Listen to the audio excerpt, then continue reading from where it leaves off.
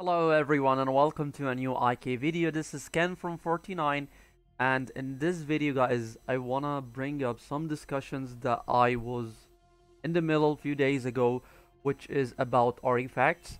Uh, a lot of people were asking and were discussing whether uh, which is better a normal fully developed artifact or a non-developed exclusive artifact and I actually couldn't answer the question back at the time because it depends on a lot of things, to be honest.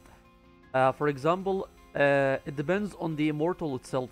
For example, there is Alex here, and I've tried all sorts of artifacts on Alex before I unlock his exclusive artifact, and the first artifact that I unlocked with him, for him, was a very bad artifact. It was, it has a magical defense on it, and it didn't even have secondary uh, special attribute, either Rabid or Iron Fist. So I was using my Attila's artifact, the one I used back in the day for Attila, which is this artifact. It is a very strong artifact. It has Rabid, it has physical defense attack, and it was fully developed as well back at the time. And I started to compare the two artifacts, and I found out that the exclusive artifact, no matter how bad is it, will always be better for an immortal such as Alex because his artifacts is just insane. It is so broken. It is one of the, if it's not the best, it is basically the best artifact that you can get for an immortal because it turns his entire skill into a passive. I know it nerfs his stats a bit from 50% down to 35 even still is still insane with his own artifact. Uh, because it is working during the entire fight he doesn't need energy to regain and he's immune the entire time he doesn't get controlled he doesn't get stunned CC'd etc and as for Hannibal it is the same thing. A fully developed normal artifact will not be as good as a bad exclusive artifact for him even though it was it had a magical defense for him. However, it could be different for some other immortals, such as uh, maybe Dido, uh, immortals that deals lots of damage and their artifacts doesn't necessarily increase or provides enough buffs for their ultimate skills, maybe such as Empress Wu here, or an artifact for maybe Charles or even Gilgamesh.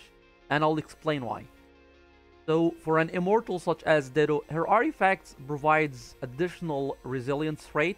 Uh, basically, it increases the resilience rate for the immortals that are being affected by her shield by 10%. 10% resilience rate is a decent amount, but uh, it doesn't necessarily work against all the teams that you're gonna fight against. Basically, this buff here would only be uh, useful against marches such as Shadow or uh, fire marches that that counts a lot on critical damage and most of the time these kind of marches are using weakness aura on it. This is why uh, Dido's artifact will not be useful like all the fights. Just few fights and that's it. It, it will not be useful against holy because 90% of the holy users are not counting on crit or using the critical talent or not even using weakness. It will not be useful against earth marches, lightning marches, wind marches because it's the same case as holy. These are all physical teams and it doesn't necessarily count on critical damage. Uh, well, I, I I think it could have been more useful if Dido's artifact could have provided the same amount of physical defense to the magical defense as well. For example, it provides here uh, a certain a 2000% of the target's level as uh, physical defense. It's called the frost armor.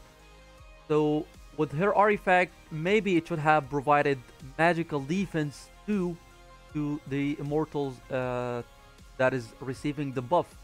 So with her artifact, the buff could have been 2000% of the target's level, physical defense and magical defense. I believe this could have been a lot better for the water march as a whole and not just the resilience rate that you get from the buff itself. Uh, I assume it it would be the same for Empress Wu. Empress Wu is entirely a DPS immortal. It is the most powerful mage in the game, in my opinion. Uh, when it comes to damage, and she needs a lot of critical rate and a secondary attribute is annihilation to give the best out of her abilities that you're using and the skill that thing, which is the imperial fire her ultimate, uh, I mean her exclusive artifacts provides additional 10% to proc the 3 times attack. Her skill inflicts a lot of magical damage up to 600% to one random enemy and it has a 60% chance to cause equal damage to another nearby random enemy units up to 3 times. So it has 60% chance to bounce with her artifacts, this chance here becomes 70%. Let's check this out here. This is the port. Here. The Nurpai targets, uh, the damage dealt to Nurpai targets is increased to 70%. Well, 10% is not that much of a chance. It does make a difference in fights. However, if you don't have this artifact fully developed, then I recommend to use a fully developed normal artifact that provides critical rate and if you have a better stats down there it should have it should be better of course and it should be annihilation since the damage she deals is mostly critical damage. So the more the more critical damage increase that you have either from the dragon or the artifact or the buff that she's receiving from William with his exclusive artifact should be better. And for William, I think an immortal such as William uh, using his own artifact could be way better than using a normal fully developed artifact, even if his artifact is not fully developed, because his artifact provides a huge boost to an immortal such as Empress Wu. Uh, let's take a look at his artifact here. It is called the Doomsday Book. So William's buff usually increases all the immortals critical rate by 20%. Using his artifact, Burning the Sky and Burning Fire increases crit rate of all troops while increasing their critical attack by 35%. This is a huge buff for an immortal such as Empress Wu.